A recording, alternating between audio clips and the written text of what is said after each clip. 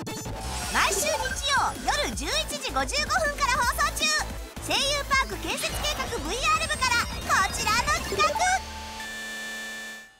お笑い第7世代という言葉がございますけれども、はいはい。えー自分はこの辺の世代だみたいなトークでね盛り上がって、えーで声優界でもそれちょっとねやってみようじゃないかという企画でございます。ねあの僕らもねあのなまだべ勉強不足でしてゲストと関さんだけで盛り上がるシーンがちょっと何個かあったんですけど。そうそうそうなんそういう時だはあの必死で食らいついていきますのでぜひぜひ。はい。説明お願いします、はい。前回作った世代表がこちら。まだ埋まっていない第2と第3世代。一体第二に当たる人ピッコロの声やってたり、諸星当たるの声やってたり古川敏夫さんとか神明さんとかその辺がこれでいくと第二になるんじゃないですかね。っか確かに。うん、あれ山寺さんとかってどうなんですか？これでいくと第三世代第三世代後期ぐらいじゃないですか。はい。この辺に入ってくることですね。そうですね。あ分かった。じゃあ逆に、関さんの動機もうちょっと知りたいですね。僕の同期、はい。僕の同期はですね坂口大輔君っていうあの銀玉であの眼鏡かけたあの男の子新八ですね。新八の役やってたりとかほあと宮村優子ちゃんとかエヴァンゲリオンのアスカ。あはい同期ですね。はじゃあ今回のゲスト子役からやっている諸星さんとデビューが遅めの白井さんは何世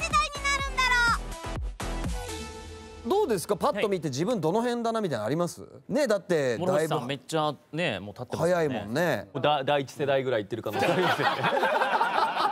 さすがに第一世代はね。だからそれこそそのデビューした年なのかそれとも世に出てきた年なのかでいう年と世に出てきたでいうと錦鯉さんは7になりますしなるほど。芸人さんのね。あそうなんですね。はデビューで言うといデビューでいうと錦鯉んさんは5とか6ぐらいなのかな。はなるほどなるほど、諸星さんのも好きでいいですよ。あの私ここがから声優だってなんかすごい自覚したとか。うん。うーん。でも7歳とか小学生上がった時ぐらいぐらいですか。ですかね。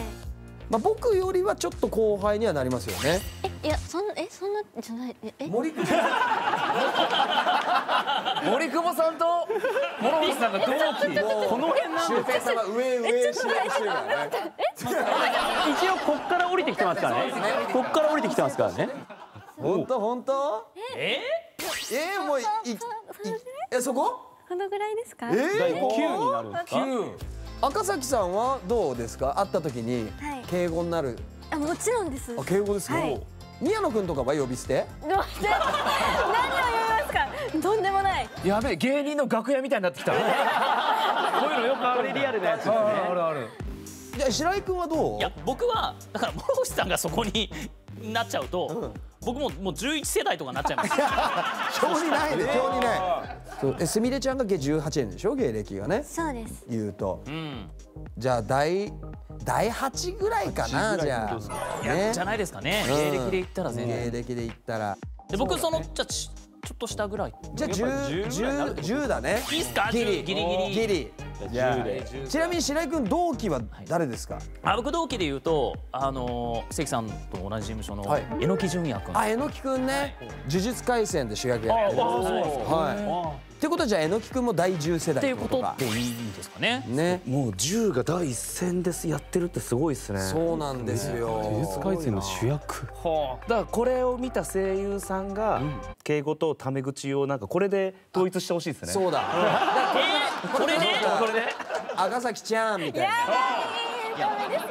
僕それで言うとあの梶さん。なうん。同い年なんですよそう。なんでだったらもう芸歴で言ったら本当大先輩なんですけど、僕は勝手にもうカージーって呼んでますけどね。そうなんだ。あれそんなこと言ったら木村昴君もさあそうですよね。第8世代に今なってるけど、芸歴でだけで言ったらほらあのミニミニ羽賀健二の頃から数えたらもうだいぶ前なん。じゃないここにいない人のは結構割と自由にやっちゃっていいんじゃないですか？芸歴で。じゃあ木村さんちょっと上げます？ちょっと上げましょうよ、これしたら7とかになるんですか？6ぐらいいっちゃいます？あ結構いきますねなるほどこれはですねちゃんとやらないとね本当にお詳しい人もしくは本人から違うぞっていうね。確かに。確かまああと「えそうだったの?」って言っていきなりタメ口になったりとかする。んですそんな影響力あります？これ。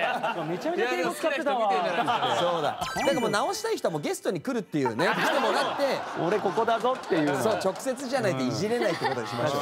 すごいメンバーになってる、ということで今回の世代表がこちら私はここじゃないと思う声優の皆さん出演お待ちしております